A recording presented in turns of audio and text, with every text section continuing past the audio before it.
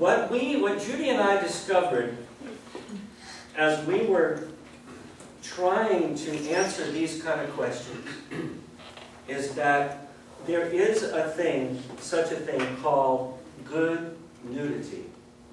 And I use the term good nudity because I'm differentiating it from not necessarily bad nudity, but sexual nudity. Um, as was said earlier, a lot of times our first experiences with the naked form are that of sexuality.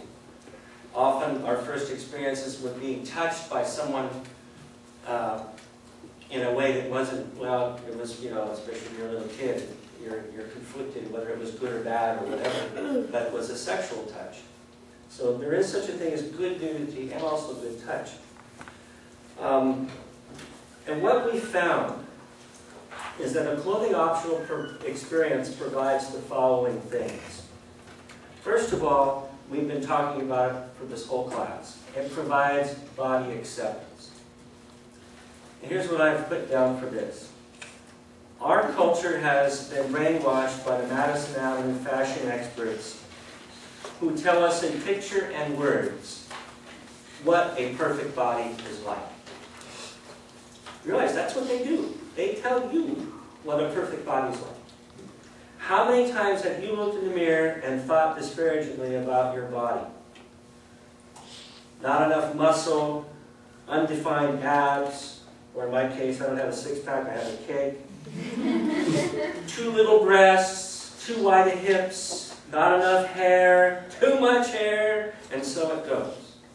A clothing optional context can put you in touch with your body, and you get to see that others are just like you. Plus, you realize that the supermodels in life are really not that pretty nude. Did you hear what I said? Mm-hmm. The supermodels in our world are really not that pretty nude. And that the magazine centerfolds are definitely airbrushed.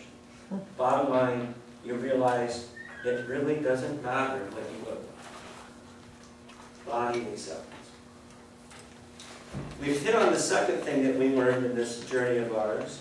The second thing is body demystification. We are all curious humans, at least I would say I'm curious. And a clothing optional context allows the body to be seen and thus demystified. You see what the clothes are covering. And once the discovery happens, you realize that, gosh, the male and female form, while it is different, and while there's different types of male and female forms, you know what? We all pretty much got the same pieces of parts.